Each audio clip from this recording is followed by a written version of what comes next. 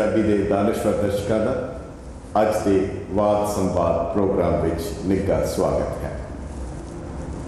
ਅੱਜ ਸਾਨੂੰ ਬਹੁਤ ਹੀ ਪ੍ਰਸੰਨਤਾ ਹੈ ਕਿ ਸਾਡੇ ਨਾਲ ਬਹੁਤ ਹੀ ਸਤਿਕਾਰਯੋਗ ਆਪਣੇ ਵਿਸ਼ੇ ਦੇ ਔਰ ਬਹੁਤ ਹੀ ਗੰਭੀਰ ਵਿਸ਼ੇ ਦੇ ਪਰ ਜਿਹੜਾ ਅਸੀਂ ਹੌਲੇ ਹੌਲੇ ਉਸ ਵਿਰਸੇ, ਵਿਰਾਸਤ ਔਰ ਸੱਭਿਆਚਾਰ ਨੂੰ ਬੜੀ ਤੇਜ਼ੀ ਦੇ ਨਾਲ ਗਵਾਈ ਜਾ ਰਹੇ ਹਾਂ ਉਹ ਚੀਜ਼ਾਂ ਜਿਹੜੇ ਸਾਡੇ ਵਿਰਸੇ ਵਿੱਚੋਂ ਖੁਰਦੀਆਂ ਜਾ ਰਹੀਆਂ ਹਨ, ਸਮਾਪਤ ਹੁੰਦੀਆਂ ਜਾ ਰਹੀਆਂ ਹਨ, ਉਸ ਨੂੰ ਜ਼ਿੰਦਾ ਰੱਖਣ ਦਾ ਜੋ ਉਪਰਾਲਾ ਹੈ, ਸਾਡੀ ਮੁਰਾਦ ਹੈ।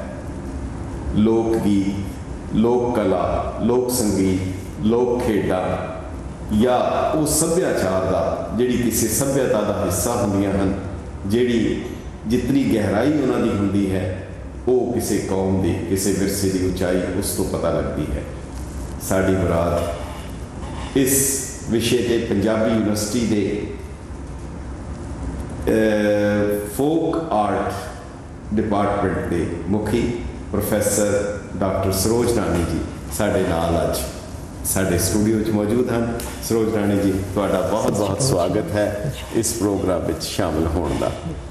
ਤੁਸੀਂ ਗੱਲ ਜਿਹੜੇ ਸਬਜੈਕਟ ਨੂੰ ਲਿਆ ਹੈ ਜਿਹੜਾ ਤੁਹਾਡਾ ਵਿਸ਼ਾ ਹੈ ਉਹ ਫੋਕ ਆਰਟ ਜਾਂ ਜਿਵੇਂ ਕਿਸੇ ਨੇ ਪੁੱਛਿਆ ਕਹਿੰਦਾ ਇਹ ਫੋਕ ਗੀਤ ਹੈ ਕਹਿੰਦਾ ਹਾਂ ਲੋਕ Song ਹੈ। ਹਾਂਜੀ। ਉਹ ਦੋਨੋਂ ਹੀ ਮਿਕਸ ਕਰਕੇ ਅਸੀਂ ਜਿਵੇਂ ਕਰੀ ਜਾ ਰਹੇ ਹਾਂ। ਤੇ ਜੋ ਲੋਕ ਆਰਟ ਲੋਕ ਸੰਗੀਤ ਲੋਕ ਕਲਾ ਕਿਰਤੀਆਂ ਇਹ ਜਿਹੜਾ ਫੋਕ ਆਰਟ ਦਾ ਵਿਸ਼ਾ ਹੈ ਇਹ ਇੱਕ ਦਿਨ ਵਿੱਚ ਨਹੀਂ ਬਣਦਾ। ਸਦੀਆਂ ਦੀ ਜਿਹੜੀ ਸਭਿਅਤਾ ਦਾ ਹਿੱਸਾ ਹੁੰਦਾ ਹੈ। ਹਾਂਜੀ। ਔਰ ਖਾਸ ਕਰਕੇ ਪੰਜਾਬ ਦੇ ਆਪਣਾ ਕਲਚਰ ਸੀ ਆਪਣੀ ਕਲਚਰਲ ਵਿਰਾਸਤ ਦਾ ਹਿੱਸਾ ਸੀ ਜਿਹਦੇ ਵਿੱਚ ਖੇਡਾਂ ਸੀ ਕਲਾਕ੍ਰਿਤੀਆਂ ਸਨ ਗੀਤ ਸੀ ਸੰਗੀਤ ਸੀ। ਔਰ ਉਹਨਾਂ ਦੇ ਨਾਲ ਬਹੁਤ ਕੁਝ ਜੁੜਿਆ ਹੋਇਆ। ਤੁਸੀਂ ਇਸ ਵਿਸ਼ੇ ਨੂੰ ਜਿਹੜਾ ਹੌਲੇ ਹੌਲੇ ਅਲੋਪ ਵੀ ਹੁੰਦਾ ਜਾ ਰਿਹਾ ਹੈ ਤੁਸੀਂ ਪੰਜਾਬੀ ਯੂਨੀਵਰਸਿਟੀ ਨੇ ਇੱਕ ਬੜਾ ਸ਼ਲਾਘਾਯੋਗ ਕੰਮ ਕੀਤਾ ਇਸ ਵਿਸ਼ੇ ਦੇ ਉੱਤੇ ਇੱਕ ਡਿਪਾਰਟਮੈਂਟ ਖੋਲਿਆ ਤੁਸੀਂ ਉਹਦੇ ਮੁਖੀ ਹੋ। ਇਸ ਦੇ ਬਾਰੇ ਇਹ ਜਿਹੜੀ ਕਲਚਰ ਦੀ ਕੀ ਸਥਿਤੀ ਹੈ ਕਲਚਰਲ ਜਿਹੜੇ ਸਬਜੈਕਟਸ ਹੈ ਜਿਵੇਂ ਆਮ ਕਿਹਾ ਕਹਿ ਦਿੱਤਾ ਜਾਂਦਾ ਹੈ the only culture of Punjab is agriculture ਜਾਂ ਹੁਣ ਹਾਰਟੀਕਲਚਰ ਵੀ ਹੋ ਗਿਆ ਠੀਕ ਹੈ ਜੀ। ਜਾਂ ਇਹਨੂੰ ਕਲਚਰ ਵਲਚਰ ਵੀ ਕਹਿ ਦਿੰਦੇ ਆ ਹਾਂਜੀ। ਤੋ ਇਸ ਦੀ ਕਿਤਨੀ ਕੁ ਗੰਭੀਰਤਾ ਹੈ ਔਰ ਕਿਤਨੇ ਕੁ ਪੰਜਾਬੀ ਇਸ ਦੇ ਪ੍ਰਤੀ ਗੰਭੀਰ ਹਨ? ਤੇ ਤੁਸੀਂ ਕਿਹੜੇ ਸਬਜੈਕਟ ਦੇ ਉੱਤੇ ਕੰਮ ਕਰ ਰਹੇ ਹੋ? ਇਹਦੇ ਬਾਰੇ ਅਗਰ ਸਾਡੇ ਦਰਸ਼ਕਾਂ ਨੂੰ ਜਾਣਕਾਰੀ ਦੇ ਸਕੋ ਤੇ ਬਹੁਤ ਤੁਹਾਡੀ। ਮਿਹਰਬਾਨੀ। ਪਹਿਲਾਂ ਤਾਂ ਮੈਂ ਜਸ ਟੀਵੀ ਦੇ ਬਹੁਤ ਧੰਨਵਾਦੀ ਹਾਂ ਕਿ ਉਹਨਾਂ ਨੇ ਮੈਨੂੰ ਆਪਣੇ ਸਟੂਡੀਓ ਵਿੱਚ ਜਿਹੜਾ ਹੈਗਾ ਉਹ ਬੁਲਾਇਆ ਹੈ ਨਿਮੰਤਰਣ ਦਿੱਤਾ ਹੈ। ਮੈਂ ਮੁਖੀ ਰਹੀ ਹਾਂ ਡਿਪਾਰਟਮੈਂਟ ਫਾਈਨ ਆਰਟਸ ਦੀ ਚੇਅਰਪਰਸਨ ਵੀ ਰਹੀ ਹਾਂ। ਜੀ। ਤੇ ਉਹਦੇ ਫੋਕ ਆਰਟ ਅਤੇ ਕਲਚਰ ਉਸ ਦਾ ਇੱਕ ਇੰਪੋਰਟੈਂਟ ਸਾਡਾ ਜਿਹੜਾ ਹੈਗਾ ਉਹ ਹਿੱਸਾ ਹੈ। ਜੀ। ਸਭ ਤੋਂ ਪਹਿਲਾਂ ਤਾਂ ਮੈਂ ਤੁਹਾਨੂੰ ਇਹ ਮਤਲਬ ਇਸ ਗੱਲ ਦੇ ਉੱਤੇ ਰੋਸ਼ਨੀ ਪਾਉਣੀ ਆ ਥੋੜੀ ਜ਼ਿੰਦਗੀ ਵੀ ਮੈਨੂੰ ਪਤਾ। ਹੈ ਕਿ ਜਿਸ ਕੌਮ ਦਾ ਜਿਸ ਕੌਮ ਦੀ ਲੋਕ ਕਲਾ ਜੀ। ਮੂੰਹੋਂ ਬੋਲਦੀ ਹੋਵੇ ਹੂੰ ਹੂੰ। ਗੂੰਗੀ ਨਾ ਹੋਵੇ ਗੂੰਗੀਆਂ ਵੀ ਹੁੰਦੀਆਂ ਨੇ ਜਦੋਂ। ਅਸੀਂ ਉਧਾਰ ਲੈ ਲੈਂਦੇ ਆ ਮੂੰਹੋਂ ਬੋਲਦੀ ਹੋਵੇ ਜੀ।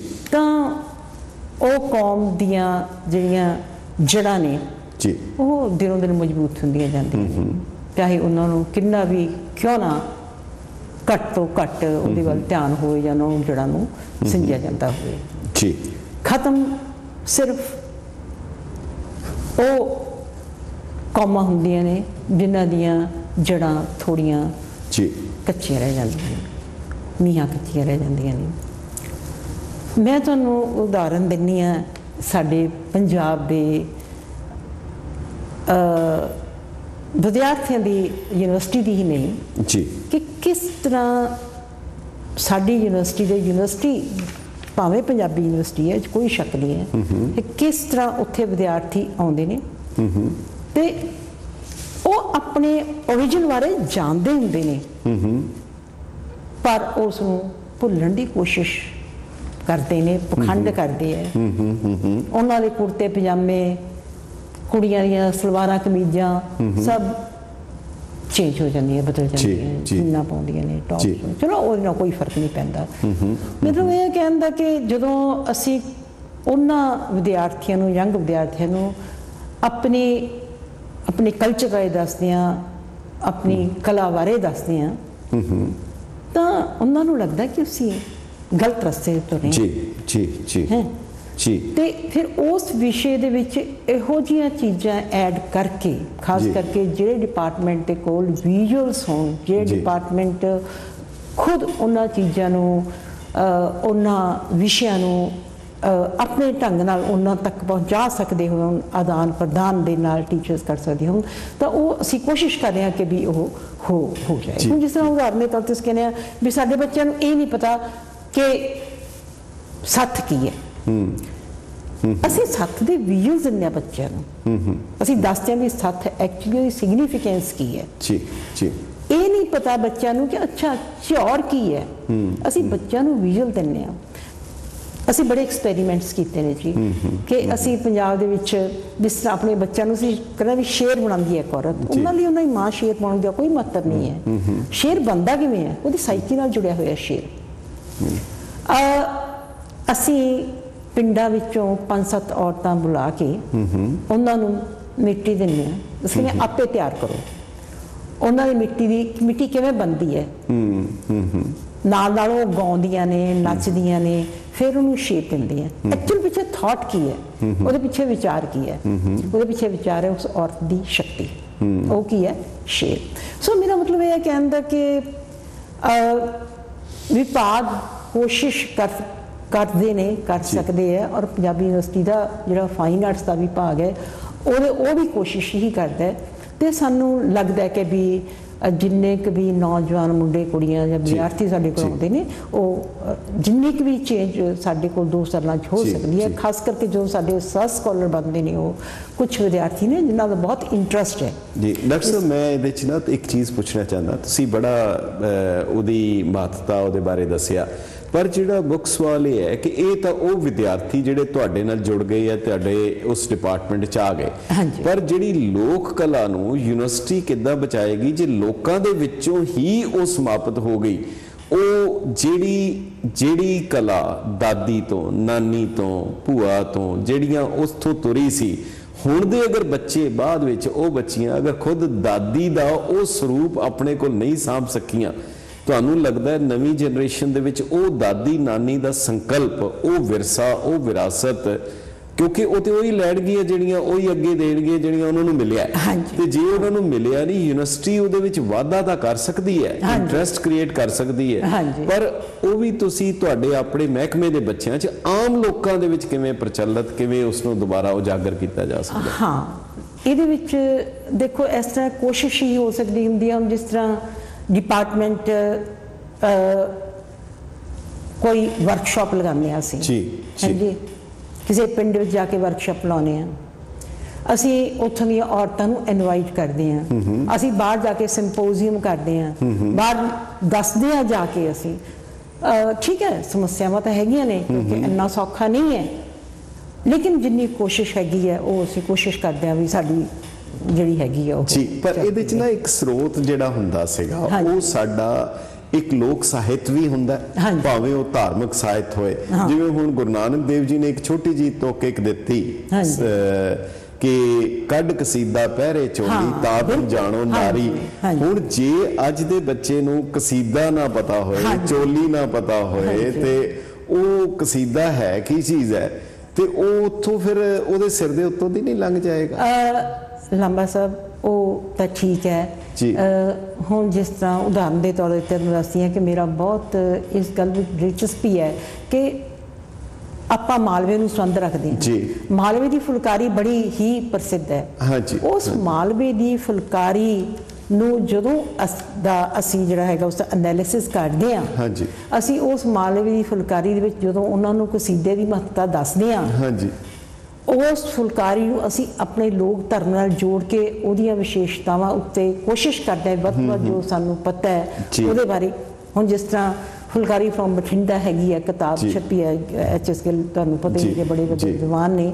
ਉਹਦਾ ਐਨਾਲਿਸ ਸਾਡੇ ਬੱਚਿਆਂ ਨੇ ਆਪਣੇ ਢੰਗ ਨਾਲ ਕੀਤਾ ਕਿ ਕਿਸ ਤਰ੍ਹਾਂ ਫੁਲਕਾਰੀ ਸਾਡੇ ਕਲਚਰ ਦੀ ਪੂਰੀ ਦੀ ਪੂਰੀ ਟੈਕਸਟ ਹੈ। ਜੀ ਜੀ। ਸੋ ਅਸੀਂ ਇਸ ਤਰ੍ਹਾਂ ਦੇ ਕੰਮ ਆਪਣੇ ਬੱਚਿਆਂ ਨੂੰ ਕਹਿੰਦੇ ਵੀ ਉਸ ਵਿਸ਼ੇ ਤੇ। ਪੇਂਟਿੰਗਸ ਕਰੋ। ਪ੍ਰਿੰਟਸ ਬਣਾਓ। ਉਹਨੂੰ ਮਨੀਏਚਰ ਪੇਂਟਿੰਗ ਦੇ ਵਿੱਚ ਕਰੋ। ਉਹਨਾਂ ਨੂੰ ਕੈਨਵਸ ਦੇ ਉੱਤੇ ਕਰੋ। ਫਿਰ ਪੋਸਟ ਕਰਨ ਤੋਂ ਪਹਿਲਾਂ ਤੁਸੀਂ ਉੱਥੇ ਜਾ ਕੇ ਪਿੰਡਾਂ ਦੇ ਵਿੱਚ ਡਾਇਲੌਗ ਕਰੋ ਉਹਨਾਂ ਦੇ ਨਾਲ ਕਿ ਐਕਚੁਅਲੀ ਸਾਡੀਆਂ ਰੂਟਸ ਕਿੱਥੇ ਨੂੰ ਦੇਖੋ ਜਿਸ ਤਰ੍ਹਾਂ ਆਪਣਾ ਬੋਰ ਦਾ ਦਰਖਤ ਹੈ ਜੀ ਜੀ ਠੀਕ ਹੈ ਬੋਰ ਦਾ ਦਰਖਤ ਬੱਚੇ ਪੇਂਟ ਕਰਦੇ ਨੇ ਸਟੂਡੈਂਟਸ ਨੇ ਪੇਂਟ ਕੀਤਾ। ਉਸ ਬੋਰ ਦੇ ਦਰਖਤ ਦੇ- ਕੀ ਇੰਪੋਰਟੈਂਸ ਹੈ ਸਾਡੇ ਕਲਚਰ ਦੇ ਵਿੱਚ ਡਾਕਟਰ ਸਾਹਿਬ ਮੈਂ ਫੁਲਕਾਰੀ ਦਾ ਤੁਸੀਂ ਜ਼ਿਕਰ ਕੀਤਾ ਬੜਾ ਅੱਛਾ ਇੱਕ ਹਵਾਲਾ ਦਿੱਤਾ। ਹੁਣ ਫੁਲਕਾਰੀ ਜਿਹੜੀ ਸੀ ਜਿਸ ਦਿਨ ਧੀ ਜੰਮਦੀ ਸੀ। ਮਾਂ ਉਸੇ ਵੇਲੇ ਉਹ ਪਹਿਲੀ ਫੁਲਕਾਰੀ ਉਹ ਰੀਝਾਂ ਨਾਲ। ਸ਼ੁਰੂ ਕਰ ਦਿੰਦੀ ਸੀ। ਜੋ ਪੰਜਾਬ ਦਾ ਵਿਰਸਾ ਸੀ। ਹੁਣ ਉਹ ਉਹਦੇ ਇੱਕ ਇੱਕ ਤਰੋਪਾ ਇੱਕ ਇੱਕ ਸੂਈ ਜਿਹੜੀ ਉਹਨੇ ਪਰੋਣੀ ਹੈ। ਉਹਦੀਆਂ ਕਿਹੜੀਆਂ ਫੀਲਿੰਗਸ ਉਹ ਹੈ ਔਰ ਜਦੋਂ ਧੀ ਨੇ ਵਿਆਹੇ ਜਾਣਾ ਉਸ ਵੇਲੇ ਉਹਨੂੰ ਜਦੋਂ ਦਿੰਦੀ ਸੀ ਤੇ ਉਹਦੇ ਵਿੱਚ ਉਹ ਜਿਹੜਾ ਪਿਆਰ ਉਹ ਸਾਰਾ ਕੁਝ ਜਿਹੜੀ ਉਹਦੀ ਸਾਰੀ ਉਮਰ ਦੀ ਜਿਹੜੀ ਉਹ ਅਹ, ਅਹ, ਜੋ ਉਸਨੇ ਵਿਰਾਸਤ ਵਿੱਚ ਦੇਣਾ ਹੈ ਪਰ ਜੇ ਉਹ ਕਨਸੈਪਟ ਖਤਮ ਹੋ ਗਿਆ ਮੈਂ ਇਹ ਨਹੀਂ ਕਹਿ ਰਿਹਾ ਕਿ ਤੁਸੀਂ ਕੋ ਉਹ ਨਹੀਂ ਕਰ ਰਹੇ ਪਰ ਮੇਰਾ ਮਤਲਬ ਹੈ ਕਿ ਉਹ ਜਿਹੜੀ ਭਾਵਨਾ ਨੂੰ ਉਹ ਮਾਂ ਤੇ ਧੀ ਦੇ ਪਿਆਰ ਦੇ ਰਿਸ਼ਤੇ ਦੀ ਜਿਹੜੀ ਤੰਦ ਸੀ ਜਿਹੜੀ ਜੁੜੀ ਹੋਈ। ਕੀ ਉਹ ਯੂਨੀਵਰਸਿਟੀ ਉਸ ਦਾ ਸਬਸਟੀਟਿਊਟ ਹੋ ਸਕਦੀ ਹੈ? ਦੇਖੋ ਲੰਮਾ ਸਾਹਿਬ ਸਬਸਟੀਟਿਊਟ ਨਾ ਹੋਵੇ ਜੀ। ਔਖਾ ਹੈ ਪਰ ਜਿੰਨੀ ਕੁ ਕੋਸ਼ਿਸ਼ ਹੁੰਦੀ ਹੈ ਕੁ ਕਰਨੀ ਚਾਹੀਦੀ ਹੈ। ਹਾਂਜੀ ਔਰ ਹਾਂਜੀ। ਕੋਸ਼ਿਸ਼ ਕਰਦੇ ਨੇ ਵਿਦਵਾਨ ਜਿਹੜੇ। ਜਿਨ੍ਹਾਂ ਦੀ ਦਿਲਚਸਪੀ ਹੈਗੀ ਹੈ। ਜੀ। ਹੁਣ ਜਿਸ ਤਰ੍ਹਾਂ ਅਸੀਂ ਸੋਚਦਾ ਵੀ ਫੁਲਕਾਰੀ ਮਾਲਵੇ ਦੀ ਜਿਸ ਤਰ੍ਹਾਂ ਅਸੀਂ ਗੱਲ ਕਰ ਰਹੇ ਹਾਂ ਵੀ ਤਰੋਪਾ। ਹਾਂਜੀ। ਹੁਣ ਕਮਰਸ਼ੀਅਲ ਕਮਰਸ਼ੀਅਲ ਹੋ ਗਈ ਹੈ ਫੁਲਕਾਰੀ। ਕਿੱਥੇ ਕਿੰਨੀਆਂ ਫੁਲਕਾਰੀਆਂ ਕੱਢੀਆਂ ਜਾਂਦੀਆਂ ਨੇ? ਹਾਂਜੀ। ਇੰਸਟੀਚਿਊਟਸ ਬਣ ਗਏ ਨੇ। ਗਵਰਨਮੈਂਟ ਨੇ ਇੰਸਟੀਟਿਊਸ਼ਨਸ ਬਣਾ ਦਿੱਤੀਆਂ ਨੇ। ਵਰਕਿੰਗ ਯੂਨੀਅਨ ਸੈਂਟਰਸ ਬਣ ਗਿਆ ਫੁਲਕਾਰੀਆਂ ਕੱਢ ਰਹੀਆਂ ਨੇ ਔਰਤਾਂ ਚੇਂਜਸ ਤਾਂ ਆਈਆਂ ਨੇ। ਪਰ ਚਲੋ ਜੇ ਕਿਤੇ ਕੁਝ ਫੁਲਕਾਰੀ ਦਾ ਨਾਂ ਹੀ ਬਚਿਆ ਰਹਿ ਜਾਏ ਅੱਜ ਕੱਲ ਦੇ ਸਮੇਂ ਦੇ ਵਿੱਚ ਤਾਂ ਉਹੀ ਸਾਡੇ ਲਈ ਇੱਕ ਬਹੁਤ ਵੱਡੀ ਗੱਲ ਹੈ। ਕੋਈ ਵਕਤ ਆਏਗਾ ਲੋਕ ਸੋਚਣ ਕਿ ਅੱਛਾ ਫੁਲਕਾਰੀ ਸੀ ਫੁਲਕਾਰੀ ਕੀ ਸੀ? ਪਰਹੈਪਸ ਅਸੀਂ ਅਹ, ਮੈਨੂੰ ਯਾਦ ਹੈ ਮੇਰੇ ਘਰ ਵੀ ਪਈ ਮਾਤਾ ਜੀ ਦੀ ਬਾਗ ਪਿਆ ਸੀਗਾ। ਤੇ ਉਹ ਬਾਗ ਉਹ ਕਹਿੰਦੇ ਜਦੋਂ ਉਹਨਾਂ ਨੂੰ ਮਿਲਿਆ ਸੀ। ਜਦੋਂ ਉਹਨਾਂ ਦਾ ਵਿਆਹ ਦੇ ਉੱਤੇ। ਔਰ ਉਹ ਬਾਗ ਔਰ ਫੁਲਕਾਰੀ ਦੋਨਾਂ 'ਚ ਬੜਾ ਫ਼ਰਕ ਹੈ ਵਿੱਚ ਚੌਪਾ ਹੈ। ਸੋ ਇਹ ਜਿਹੜੀਆਂ ਚੀਜ਼ਾਂ ਹੈ ਇਸ ਨੂੰ ਆਮ ਲੋਕਾਂ ਦੇ ਵਿੱਚ ਕਿਉਂ ਨਹੀਂ ਪ੍ਰਚਲਿਤ ਕੀਤਾ ਜਾਂਦਾ ਜਾਂ ਕਿਉਂ ਨਹੀਂ ਹੋ ਪਾ ਨਹੀਂ ਰਿਹਾ? ਦੇਖੋ ਅੱਜ ਵੀ ਆਪਾਂ ਮਾਣ ਮਹਿਸੂਸ ਕਰਦੇ ਹਾਂ ਕਿਸੇ। ਨੂੰ ਕੋਈ ਗੈਸਟ ਆਂਦਾ ਹੈ। ਚਾਹੇ ਯੂਨੀਵਰਸਿਟੀ ਆਵੇ ਕਿਤੇ ਆਵੇ ਪਰ ਫੁਲਕਾਰੀ ਇੱਕ ਗਿਫਟ ਦੇ ਕੇ ਉਹਨਾਂ ਨੂੰ ਸਨਮਾਨਿਤ ਕਰਦਾ ਹੈ। ਇਹ ਨਹੀਂ ਹੈ ਕਿ ਅੰਦਰੋਂ ਕੁਝ ਚਲਾ ਜਾਂਦਾ ਕਿਉਂਕਿ ਸਾਡੀਆਂ ਰੂਟ ਸੋਟੇ ਹੈ ਸਾਡੀ ਓਰੀਜਨੈਲਿਟੀ ਹੈ। ਪਿਛਲੇ 2-3 ਸਾਲ ਪਹਿਲਾਂ ਜਿਹੜਾ ਸੀਗਾ ਉਹ ਮੇਰੇ ਇੱਕ ਸਟੂਡੈਂਟ ਨੇ ਮੇਰੇ ਨਾਲ ਕੰਮ ਕੀਤਾ ਫੁਲਕਾਰੀ ਦੇ ਉੱਤੇ। ਬੜੀਆਂ ਨਵੀਆਂ ਨਵੀਆਂ ਫਾਰਮਸ ਇਵਨ ਲੋਕ ਗੀਤ ਤੱਕ ਉਹਨਾਂ ਉੱਤੇ ਕੱਢੇ ਹੋਏ। ਦਸਤਖਤ ਕੀਤੇ ਹੋਏ ਨਾਂ ਲਿਖੇ ਹੋਏ ਲੋਕਾਂ ਦੇ ਜਿੰਨਾਂ ਤੋਂ ਉਹ ਪੁੱਛ ਰਹੀ ਸੀ ਮੈਨੂੰ ਬਾਤ ਮੈਂ ਇਹ ਕੁਰਦਾ ਕੀ ਮਤਲਬ ਹੈ ਇਹਦੀ ਕੀ ਚੀਜ਼ ਹੈ ਕਿਸ ਤਰ੍ਹਾਂ।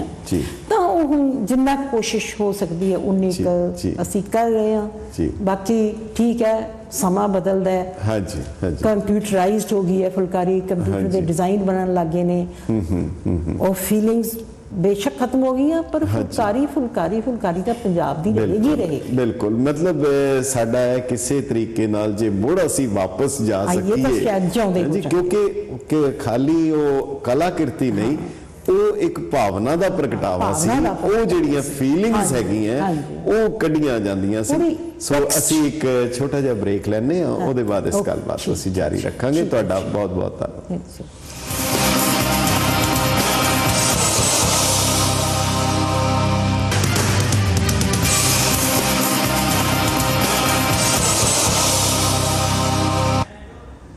ਬਾਤ ਸੰਵਾਦ ਪ੍ਰੋਗਰਾਮ ਦੇ ਵਿੱਚ ਸਾਡੇ ਨਾਲ ਪਟਿਆਲਾ ਯੂਨੀਵਰਸਿਟੀ ਦੇ ਫੋਕ ਆਰਟ ਡਿਪਾਰਟਮੈਂਟ ਦੇ ਪ੍ਰੋਫੈਸਰ ਸਰੋਜ ਰਾਣੀ ਜੀ, ਅਸੀਂ ਉਹਨਾਂ ਨਾਲ ਗੱਲਬਾਤ ਕਰ ਰਹੇ ਹਾਂ। ਵਕਫੇ ਦੇ ਬਾਅਦ ਪ੍ਰੋਫੈਸਰ ਸਾਹਿਬ, ਤੁਹਾਡਾ ਫਿਰ ਨਿੱਘਾ ਸਵਾਗਤ ਹੈ। ਮੈਂ ਗੱਲ ਕਰ ਰਿਹਾ ਸੀ ਬਲਕਿ ਗੱਲ ਤੁਹਾਡੇ ਨਾਲ ਕਰਨੀ ਤੇ ਤੁਹਾਡਾ ਜਿਹੜਾ ਰੁਤਬਾ ਜਾਂ ਤੁਹਾਡੀ ਜਿਹੜੀ ਨੌਲੇਜ ਹੈ ਉਸ ਦੇ ਬਾਰੇ। ਮੈਂ ਤਾਂ ਥੋੜਾ ਬਹੁਤ. ਜਿਹੜਾ ਦੇਖਿਆ ਹੈ ਉਸ ਵਿਰਸੇ ਨੂੰ ਮਾਣਿਆ ਹੈ। ਮਹਿਸੂਸ ਕੀਤਾ ਹੈ ਤੇ ਉਹਦੇ ਵਿੱਚ ਜਿਹੜੀ ਫੁਲਕਾਰੀ ਦਾ ਜਦੋਂ ਅਸੀਂ ਦੇਖੀਦਾ ਹੈ, ਬੇਬੇ ਨਾਨਕੀ ਦੇ ਹੱਥ ਦਾ ਕੱਢਿਆ ਰੁਮਾਲ ਹਾਂਜੀ। ਜਿਹੜਾ ਉਹਨਾਂ ਨੇ ਗੁਰੂ ਨਾਨਕ ਦੇਵ ਜੀ ਨੂੰ ਦਿੱਤਾ ਸੀ। ਉਹ ਬਟਾਲੇ ਦੇ ਵਿੱਚ ਹਾਲੇ ਵੀ ਪਿਆ। ਹੁਣ ਉਹ ਭੈਣ ਦਾ ਪਿਆਰ ਦਾ ਪ੍ਰਤੀਕ ਉਹ ਜਿਹੜਾ ਰੁਮਾਲ ਦੇ ਉੱਤੇ ਕਢਾਈ ਕੀਤੀ ਇਸ ਤਰ੍ਹਾਂ ਫੁਲਕਾਰੀ ਦੇ ਵਿੱਚ ਵੀ ਬਾਗ ਹੈ ਖੇਸ ਹੈ ਦਰੀਆਂ ਹੈ ਹੋਰ ਸਾਰਾ ਕੁਝ ਹੈ ਇਹਨਾਂ ਦੇ ਉੱਤੇ ਜਿਹੜੇ ਵੱਖ-ਵੱਖ ਚਿੱਤਰਕਾਰੀ ਕੀਤੀ ਜਾਂਦੀ ਸੀ ਵੱਖ-ਵੱਖ ਪੰਛੀਆਂ ਦੇ ਬੂਟਿਆਂ ਦੀ। ਔਰ ਜਿਹੜੇ ਹੋਰ ਵੀ ਕਈ ਰੂਹਾਂ ਨੂੰ ਦੂਰ ਕਰਨ ਦੀ ਪ੍ਰੇਤਾਂ ਭੂਤਾਂ ਪ੍ਰੇਤਾਂ ਦੀ ਵੀ ਗੱਲ ਕਰਦੇ ਸੀ। ਇਹ ਇਹਨਾਂ ਦੀ ਕੀ ਮਹੱਤਤਾ ਸੀ ਜਿਹੜੀ ਉਹਦੇ ਵਿੱਚ ਕਢਾਈ ਕੀਤੀ ਜਾਂਦੀ ਹੈ ਕਿਧਰੇ ਤਾਂ ਬਿਲਕੁਲ ਜਿਓਮੈਟ੍ਰੀਕਲ ਪੈਟਰਨਸ ਹਨ ਹਾਂਜੀ, ਜਿਵੇਂ ਖਾਸ ਕਰਕੇ ਖੇਸ ਵਗੈਰਾ ਦਰੀਆਂ 'ਚ ਤੇ ਕਿਧਰੇ ਫੁਲਕਾਰੀ ਦੇ ਵਿੱਚ ਜਿਓਮੈਟ੍ਰੀਕਲ ਹੈ ਤੇ। ਕਿਧਰੇ ਕਢਾਈ ਕੀਤੀ ਜਾਂਦੀ ਇਹਨਾਂ ਦੀ ਕੀ ਇੰਪੋਰਟੈਂਸ ਹੈ ਅ, ਲੰਬਾ ਤਾਂ ਵੈਸੇ ਬੜਾ ਹੀ ਅੱਛਾ ਸਵਾਲ ਪੁੱਛਿਆ। ਜੀ ਇਸ ਵਿਸ਼ੇ ਉੱਤੇ ਹੁਣੇ ਮੇਰੇ ਇੱਕ ਵਿਦਿਆਰਥੀ ਨੇ ਖੋਜਾਰਥੀ ਨੇ ਕੰਮ ਵੀ ਕੀਤਾ ਹੈ ਜੀ। ਕਿ ਦੇਖੋ ਉਹ ਕਦੇ ਸਕੂਲ ਨਹੀਂ ਸੀ ਜਾਂਦੀ। ਫੁਲਕਾਰੀ ਤਾਂ ਉਹ ਕਦੇ ਕਿਤੋਂ ਸਿੱਖਦੀ ਨਹੀਂ ਸੀ। ਕਿਉਂਕਿ ਇਹ ਤਾਂ ਉਹਨੂੰ ਘਰ ਤੋਂ ਹੀ ਸਿੱਖਦੀ ਸੀ ਆਪਣੀ ਮਾਂ ਕੋਲ ਹੀ ਉਸ ਨੂੰ ਆਉਂਦਾ ਸੀ ਸਾਰਾ ਕੁਝ। ਇਹ ਸਿੱਖਣ ਵਾਲੀ ਚੀਜ਼ ਨਹੀਂ ਸੀ। ਜੀ ਜੀ ਜੀ। ਔਰ ਨਾ ਇਹਨੂੰ ਕਿਤੇ ਕੋਈ ਪਾਠਸ਼ਾਲਾ ਦੀ ਜ਼ਰੂਰਤ ਹੁੰਦੀ ਸੀ ਕਿਸੇ ਟੀਚਰ ਦੀ ਲੋੜ ਹੁੰਦੀ ਸੀ। ਅੱਜ ਵਾਂਗ ਉਹ ਟ੍ਰੇਨਿੰਗ ਨਹੀਂ ਸੀ ਹੁੰਦੀ। ਕਿਉਂ? ਕਿਉਂਕਿ ਉਹਦੇ ਮਨ ਦੀਆਂ ਗੱਲਾਂ ਹੁੰਦੀਆਂ ਸੀ। ਮਨ ਦੇ ਬੋਲ ਹੁੰਦੇ ਸੀ ਜਿਹੜੇ ਉਹ ਕੱਢਦੇ। ਸੀ। ਉਹਦੇ ਵਿੱਚ ਉਹ ਡਿਜ਼ਾਈਨਸ ਉਸਦੇ ਅੰਦਰ ਹੀ ਆਉਂਦੇ ਸੀ ਕਿਉਂਕਿ ਉਹਦੀ ਮਾਨਸਿਕਤਾ ਨਾਲ ਜੁੜੇ ਹੋਏ ਹੁੰਦੇ ਸੀ ਹੁਣ ਉਹਨੂੰ ਅੰਦਰੋਂ ਕਿਤੇ ਇਹ ਹੁੰਦਾ ਸੀ ਕਿ ਇਹ ਜਿਹੜੀ ਫੁਲਕਾਰੀ ਹੈ ਇੱਕ ਦੇਵਿਕ ਸਪਿਰਿਟ ਹੈਗਾ। ਇਹ ਬਿਲਕੁਲ। ਦੇਵਤੇ ਨਾਲ ਜੁੜਦੀ ਹੈ ਦੇਵੀ ਨਾਲ ਜੁੜਦੀ ਹੈ ਜੀ। ਕੇ ਤੁਸੀਂ ਦੇਖੋਗੇ ਕਿ ਕਈ ਫੁਲਕਾਰੀਆਂ ਦੇ ਵਿੱਚ ਬਹੁਤ ਪੁਰਾਣੇ ਜਿਹੜੇ ਗਹਿਣੇ ਨੇ ਸੱਗੀ ਹੈ ਫੁੱਲ। ਹੈ ਉਹਦੇ ਹੋਰ ਜਿਹੜੀਆਂ ਹੈਗੀਆਂ ਨੇ ਪੁਰਾਣੇ ਮਛਲੀ ਹੈ। ਉਹ ਪੂਰੇ ਦੇ ਪੂਰੇ ਫੁਲਕਾਰੀ 'ਚ ਕੱਢੇ ਹੋਏ ਨੇ ਜੀ, ਜੀ, ਲੇਕਿਨ ਉਹ ਫੁਲਕਾਰੀ 'ਚ ਇਸ ਤਰ੍ਹਾਂ ਕੱਢੇ ਹੋਏ ਨੇ ਉਹਦੇ ਉਹਦੇ ਵਿੱਚ ਮਤਲਬ ਉਹਦਾ ਅੱਖਾਂ ਮੂੰਹ ਨੱਕ ਉਹ ਨਹੀਂ ਹੈ ਇਹ ਮੇਰੇ ਵਿਦਿਆਰਥੀ ਨੇ ਕੋਈ ਕੁਐਸਚਨ ਗਿਆ ਮੈਨੂੰ ਉਹ ਤਾਂ ਭੁੱਲ ਗਈ ਉਹਨੇ ਅੱਖਾਂ ਮੂੰਹ ਨੱਕ ਨਹੀਂ ਕੱਢੇ ਸਿਰਫ ਇੱਕ ਉਹਦਾ ਹਾਰ ਸ਼ਿੰਗਾਰ ਕੀਤਾ। Abstract ਜਿਹਾ ਬਣਾ ਮੈਂ। ਕਿਹਾ ਨਹੀਂ ਇਹਦੇ ਵਿੱਚ ਤੁਸੀਂ ਇਹ ਦੇਖੋਗੇ ਸਾਡੀ ਭਾਰਤੀ ਪਰਿਭਾਸ਼ਾ ਕੀ ਹੈ ਸੁੰਦਰਤਾ ਦੀ ਉਸਨੇ ਉਹ ਮਹਿਸੂਸ ਕੀਤੀ ਹੈ ਕਿ ਉਹ ਉਸ ਤੇ ਦੇਵੀ ਦੇ ਨਕਸ਼ ਕੱਢ ਹੀ ਨਹੀਂ ਸਕਦੀ ਕਿਉਂ ਕਿਉਂਕਿ ਉਹ ਉਹ ਤਾਂ ਬਿਯੋਂਡ ਬਿਯੋਂਡ ਐਨੀ ਡਿਸਕ੍ਰਿਪਸ਼ਨ ਹੈ ਕਿਸੇ ਵਰਣਨ ਤੋਂ ਵੀ ਦੂਰ ਹੈ ਇਸ। ਕਰਕੇ ਉਸਨੇ ਨਹੀਂ। ਕੱਢੇ ਫਿਰ ਉਹਨਾਂ ਫੁਲਕਾਰੀਆਂ ਉੱਤੇ ਉਸ ਦੇਖੋ ਕਿ ਬਹੁਤ ਪ੍ਰੇਮ ਕਥਾਵਾਂ ਨੂੰ ਕੱਢਿਆ ਹੋਇਆ ਹੈ ਜੀ। ਮਿਰਜ਼ਾ ਸਾਹਿਬਾ ਹੀਰ। ਰਾਂਝਾ ਹਾਂਜੀ ਦੁੱਧ ਰਿੜਕਦੀ ਹੋਈ ਡੇਲੀ ਲਾਈਫ ਨੂੰ ਕੀਤਾ ਹੋਇਆ ਹੈ ਨਾ। ਤੇ ਉਹਨਾਂ ਦੇ ਦੇਖੋ ਇਹ ਤਾਂ ਮਤਲਬ ਇਹ ਹੈ ਕਿ ਉਹ ਅੰਦਰੋਂ ਹਰੇਕ ਗੱਲ ਨੂੰ ਇਹ ਸਮਝਦੀ ਸੀ। ਕਿ ਅਗਰ ਮੈਂ ਹੀ ਰਾਂਝਾ ਸੋਨੀ ਮਹੀਵਾਲ ਸੱਸੀ ਪੁੰਨੂ ਆਪਣੀ ਫੁਲਕਾਰੀ ਤੇ ਕੱਢ ਰਹੀ ਹਾਂ ਤਾਂ ਮੈਂ ਬੇਸ਼ੱਕ ਮੇਰੇ ਕੋਲ ਆਰਸੀ ਟੈਂਪਲ ਦੀ ਟ੍ਰਾਂਸਲੇਸ਼ਨ ਮੈਨੂੰ ਨਹੀਂ ਪੜ੍ਹਨੀ ਆਉਂਦੀ। ਮੈਨੂੰ ਲੋਕ ਕਹਾਣੀਆਂ ਉਹ ਉਹਦੀ ਆਰਾਧਨਾ ਸੀਗੀ। ਜੀ ਉਹਦੀ ਉਹ ਪੂਜਾ ਸੀ ਉਹਨੂੰ ਪਤਾ ਸੀ ਕਿ ਸੱਚਾ ਪ੍ਰੇਮ ਕੀ ਹੁੰਦਾ। ਉਹਨੇ ਕੱਢਤਾ। ਡਾਕਟਰ ਸਾਹਿਬ ਜਿਹੜੀ ਤੁਸੀਂ ਗੱਲ ਕੀਤੀ ਬੜਾ ਇਹਦੇ ਚ ਇੰਟਰਸਟਿੰਗ ਐਨਾਲੋਜੀ ਇਹਦੇ ਚ ਆਉਂਦੀ ਹੈ ਕਿ ਜਿਵੇਂ ਦੱਸਿਆ ਕਿ ਉਹ ਜਿਹੜੇ ਦੇਵੀ ਚਿੱਤਰਣ ਹੈ ਉਹਨਾਂ ਦੇ ਵਿੱਚ ਉਹਨਾਂ ਦੇ ਨੈਣ ਨਕਸ਼ ਦਾ ਵਿਸਥਾਰ ਨਹੀਂ ਹੁੰਦਾ। ਉਹ ਬਿਲਕੁਲ ਇੱਕ ਰੇਖਾ ਚਿੱਤਰ ਦੀ ਤਰ੍ਹਾਂ। ਸੋ ਕੀ ਇਹੀ ਕਾਰਨ ਹੈ ਜਿਹੜੀ ਪੰਜਾਬ ਦਾ ਕਲਚਰ ਜਾਂ ਪੰਜਾਬ ਦੀ ਆਰਟ ਤੇ ਮਾਈਕਲ ਐਂਜਲੋ ਦੀ ਜਿਵੇਂ ਵੈਟੀਕਨ ਦੇ ਵਿੱਚ ਹੈ ਉਹ ਪੂਰੀ ਐਨਾਟੋਮਿਕਲ ਜਿਹੜੀਆਂ ਸਾਰੀਆਂ ਉਹਨਾਂ ਨੇ ਇਤਨੀ ਡਿਟੇਲਸ ਦੇ ਵਿੱਚ ਹੈ ਹਿਊਮਨ ਫਿਗਰਸ ਨੂੰ ਕਿ ਉੱਥੇ ਉਸ ਤਰ੍ਹਾਂ ਦਾ ਦਰਸਾਉਂਦੇ ਹੈ ਤੇ ਸਾਡੀ ਆਰਟ ਦੇ ਵਿੱਚ ਉਹ ਸਿਰਫ ਆਊਟਲਾਈਨਸ ਹੀ ਹੁੰਦੀਆਂ ਸੀ ਡਿਟੇਲਸ ਨਹੀਂ ਹੁੰਦੀਆਂ। ਸਾਹਿਬ ਤੁਸੀਂ ਬਹੁਤ ਹੀ ਅੱਛਾ ਅੱਜ ਕੱਲ ਦੇ ਸਮੇਂ ਦੇ ਅਕੋਰਡਿੰਗ ਬਹੁਤ ਹੀ ਅੱਛਾ ਸਵਾਲ ਕੀਤਾ ਹੈਗਾ। ਜੀ। ਮੈਨੂੰ ਜੋ ਲੱਗਦਾ ਹੈ ਮੈਨੂੰ ਇਸ ਤਰ੍ਹਾਂ ਲੱਗਦਾ ਕਿ ਅਸੀਂ ਸਾਡੀ ਸਿਵਲਾਈਜੇਸ਼ਨ ਬਹੁਤ ਰਿਚ ਸਿਵਲਾਈਜੇਸ਼ਨ ਹੈ। ਬਹੁਤ ਪੁਰਾਣੀ ਸਿਵਲਾਈਜੇਸ਼ਨ ਹੈ ਜਿਨ੍ਹਾਂ ਨੇ ਸਭ ਤੋਂ ਪਹਿਲਾਂ ਪੁਰਸ਼ ਤੇ ਪ੍ਰਕਿਰਤੀ ਦੇ ਰਿਲੇਸ਼ਨਸ਼ਿਪ ਨੂੰ ਸੰਬੰਧਾਂ ਨੂੰ ਸਮਝਿਆ। ਜੀ। ਅਸੀਂ ਅਮੂਰਤਤਾ ਨੂੰ ਸਮਝਿਆ। ਅਸੀਂ ਸਾਨੂੰ ਇਹ ਬੜਾ ਸਾਫ਼ ਸੀਗਾ ਕਿ ਐਨੀਕੋਨਿਕ ਕੀ ਹੈ ਤੇ ਐਂਥ੍ਰੋਮੋਮੋਰਫਿਕ ਕੀ ਹੈ ਮੂਰਤ ਕੀ ਹੈ ਤੇ ਅਮੂਰਤ ਕੀ ਹੈ ਤੇ ਅਮੂਰਤ ਨੂੰ ਅਸੀਂ ਸਭ ਤੋਂ ਪਹਿਲਾਂ ਪ੍ਰੈਫਰ ਕੀਤਾ ਸਭ ਤੋਂ ਪਹਿਲਾਂ ਤਰਜੀਹ ਦਿੱਤੀ। ਦੂਸਰੇ ਪਾਸੇ ਜਦੋਂ ਅਸੀਂ ਮਾਈਕਲ ਐਂਜਲੋ ਵੱਲ- ਆਉਨੇ ਆ। ਤਾਂ ਇਹ ਦੇਖੋ ਬਹੁਤ ਮਹਾਨ ਆਰਟਿਸਟ ਹੋਏ ਨੇ ਉਹ। ਉਹਨਾਂ ਨੇ ਉਹਨਾਂ ਦੇ ਵਿੱਚ ਰੀਅਲਿਸਟਿਕ ਅਸੀਂ ਆਰਟ ਜਿਸ ਨੂੰ ਕਹਿੰਦੇ ਆ ਜਿਸ ਨੂੰ ਅਸੀਂ ਸਿੱਖ ਕੇ ਕਰ ਸਕਦੇ ਹਾਂ ਜੀ, ਜੀ। ਉਹਦੇ ਸਟਰਕਚਰ ਪਰਫੈਕਟ ਜੀ। ਸੀਗਾ। ਜਦੋਂ ਕਿ ਅਸੀਂ ਆਪਣੇ ਵੱਲ ਆਈਏ ਤਾਂ ਸਾਡਾ ਸਟਰਕਚਰ ਦਾ ਕੋਈ ਮੈਨਾ ਨਹੀਂ ਹੁੰਦਾ ਕਿਉਂ? ਕਿਉਂਕਿ ਸਾਡੀਆਂ ਸਿਰਫ ਭਾਵਨਾਵਾਂ ਹੁੰਦੀਆਂ। ਅਗਰ ਫੁਲਕਾਰੀ ਦੇ ਵਿੱਚ ਇੱਕ ਮੇਲ ਫੀਮੇਲ ਟ੍ਰਾਇੰਗਲ ਦਾ ਬਣਾਤਾ ਜੀ ਜੀ ਜੀ। ਕਿੰਨਾ ਅਸੀਂ ਕਿੰਨੇ ਮਾਡਰਨ ਹਾਂ ਕਿ ਅਸੀਂ ਦੋ ਟ੍ਰਾਇੰਗਲ ਨੂੰ ਜੋੜ ਕੇ ਇੱਕ ਪੁਰਸ਼ ਬਣਾਤਾ। ਦੋ ਟ੍ਰਾਇੰਗਲ ਨੂੰ ਜੋੜ ਕੇ ਇੱਕ ਔਰਤ ਬਣਾਤੀ।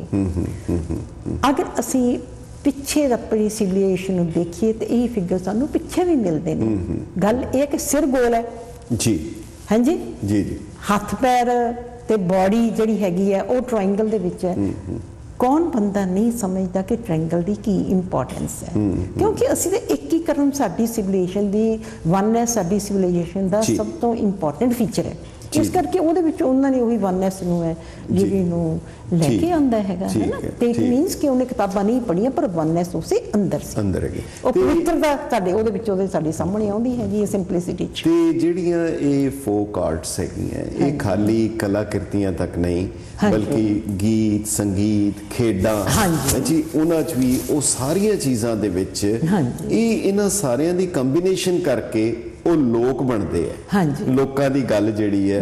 ਹੁਣ ਜਿਸ ਤਰ੍ਹਾਂ ਇੱਕ ਬੜਾ ਅੱਛਾ ਮੈਨੂੰ ਉਦਾਹਰਣ ਮਿਲਿਆ ਖੇਡਾਂ ਦੇ ਉੱਤੇ ਹੀ ਤੁਸੀਂ ਕੰਮ ਹਾਂਜੀ। ਕੀਤਾ ਹੈ ਜਾਂ ਖੇਡਾਂ ਦਾ ਤੇ ਜਿਵੇਂ ਉਹ ਗੁਰੂ ਅਰਜਨ ਦੇਵ ਜੀ ਨੇ ਵੀ ਇੱਕ ਗੱਲ ਕੀਤੀ ਪੂਰੀ ਛਿੰਝ ਦਾ ਜ਼ਿਕਰ ਕੀਤਾ ਹਾਂਜੀ, ਹੋ ਗੁਸਾਈ ਦਾ ਪਹਿਲਵਾਨੜਾ ਮੈਂ ਗੁਰਮੇਲ ਉੱਚ ਦਮਾਲੜਾ ਸਭ ਹੋਈ। ਛਿੰਝ ਇਕੱਠੀਆਂ ਦਾ ਬੈਠਾ ਵੇਖੇ ਆਪ ਹਾਂਜੀ। ਜੀਓ ਬਾਤ ਵੱਜਣ ਟਮਕ ਢੇਰੀਆਂ। ਮਲ ਲੱਥੇ ਲੈਂਦੇ ਫੇਰੀਆਂ ਬਹੁਤ- ਪੰਜ ਜਵਾਨ ਮੈਂ ਪਰ। ਲੱਗਦਾ ਹੈ ਕਿ ਉਹਨਾਂ ਦਾ ਲਕਸ਼ ਜਿਹੜਾ ਹੈ ਉਹ ਖੇਡਾਂ ਨਹੀਂ ਇੱਕ ਸਾਧਨ ਹੁੰਦਾ ਸੀ ਹਾਂ ਸਾਧਨ। ਪੁਰਾਣੇ। ਜਿਹੜੇ ਇਸ ਤਰ੍ਹਾਂ ਦਾ ਧਾਰਮਿਕ ਲਿਟਰੇਚਰ ਵਿੱਚ ਵੀ ਲਕਸ਼ ਨਹੀਂ ਹੈ ਉਹ ਸਾਧਨ ਹੈ ਪਰ। ਇਹ ਇੱਕ ਬੜਾ ਅਹਿਮ ਸਾਧਨ ਸੀ ਕਿ। ਇਹਨਾਂ ਸਾਰਿਆਂ ਨੂੰ ਜੋੜ ਕੇ ਮੈਸੇਜ ਦੇਣ ਦਾ ਹਾਂਜੀ ਹਾਂਜੀ। ਸੋ ਇਹਨਾਂ ਸਾਰਿਆਂ ਦੀ ਕੋਆਰਡੀਨੇਟਡ ਵੀ ਕੋਈ ਐਫਰਟਸ ਹੋ ਰਹੀਆਂ ਤੁਹਾਡੇ ਵੱਲੋਂ ਕਿ ਇਹਨਾਂ ਨਾ ਕੇਵਲ ਇੱਕ ਪੱਖ ਨੂੰ ਸਾਰਿਆਂ ਨੂੰ ਜੋੜ ਕੇ ਸੰਗੀਤ ਗੀਤ ਆਰਟ ਕਲਚਰ ਔਰ ਖੇਡਾਂ ਔਰ ਖਾਸ ਕਰਕੇ ਜਿਹੜਾ ਤੁਹਾਡਾ ਕੰਮ ਹੈ ਕਿ ਔਰਤ ਦੀ ਸਾਈਕੋ ਐਨਾਲਿਸਿਸ ਨੂੰ।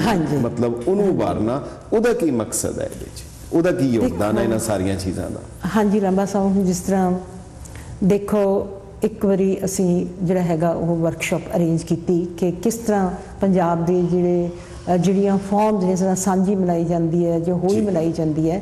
ਇਹ ਸਾਰੀਆਂ ਔਰਤ ਦੀਆਂ ਰਿਪਰੈਜ਼ੈਂਟੇਸ਼ਨਸ ਨੇ। ਔਰਤ ਦੀਆਂ ਔਰਤ ਜੀ ਅ, ਜਿਸ ਤਰ੍ਹਾਂ ਹੋਲੀ ਦੇ ਵਿੱਚ ਦੇਖਿਆ ਕਿ।